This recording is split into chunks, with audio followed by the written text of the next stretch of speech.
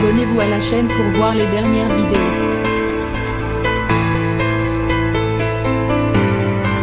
Le 14 mars dernier, le capitaine du PSG, Marquinhos, a été victime d'un cambriolage alors qu'il jouait un match. Le Parisien révèle des détails explosifs sur cet événement et notamment sur le profil des malfaiteurs, qui interroge. Ce n'est pas la première fois que l'on entend parler de cambriolage du côté du Paris Saint-Germain.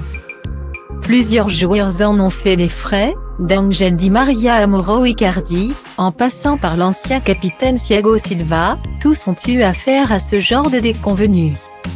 Sauf que dans la plupart des cas, la maison était vide, n'entraînant donc aucune confrontation entre les malfaiteurs et les propriétaires des lieux.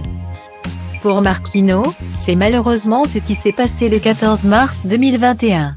Le Brésilien de 27 ans était alors au Parc des Princes.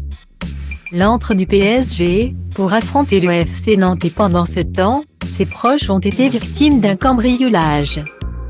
C'est dans la commune de Château que les choses se sont déroulées, le père du joueur. Marcos Correa, a vu arriver deux hommes cagoulés chez lui après lui avoir asséné plusieurs coups dans les côtes et le dos.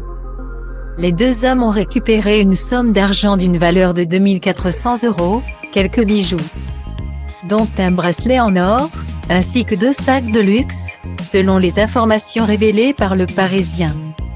Mercredi 14 juillet. Ils sont partis avec leur butin, laissant la famille de Marquino sous le choc. Après une longue enquête, les policiers ont retrouvé le véhicule des cambrioleurs et réussi à prélever des empreintes ADN. Si le profil de trois des suspects est assez classique, puisqu'il s'agit d'hommes de 20, 28 et 29 ans connus des services de police pour des vols à répétition, l'un d'entre eux a de quoi surprendre. Une quatrième personne a été interpellée dans cette affaire et il s'agit d'un lycéen de 17 ans en seconde professionnelle à Paris. Lors des perquisitions, les enquêteurs ont trouvé des armes à feu, des clés de menottes et tout un attirail de gadgets utiles pour un cambriolage. Pour le moment aucune preuve concrète contre les suspects n'a été dévoilée, mais l'affaire suit son cours et on devrait sûrement avoir de nouvelles informations dans les prochaines semaines. Affaire à suivre donc.